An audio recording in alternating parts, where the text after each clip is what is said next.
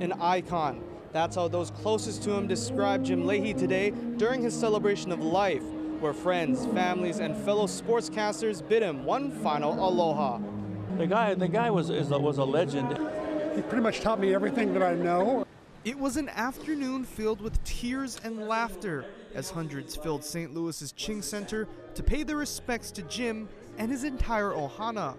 Uh, it's just been really overwhelmingly beautiful the, the response from people, the outreach, people that have shared stories, that have shared aloha, that have talked about how my dad just, you know, in his little way gave them just a small piece of joy. This day, the true embodiment of what made Jim happy, bringing people together. He loved this place, he loved the people of Hawaii. Um, this was home. And the people of Hawaii loved him.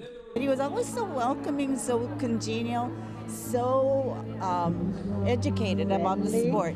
Yeah. Fans remembering the bonds he created on and off of the playing surface. And when I went to the volleyball games, I had to buy him his coffee. And when I was late, he would always say, look at his watch and say, You're late. Where's my coffee?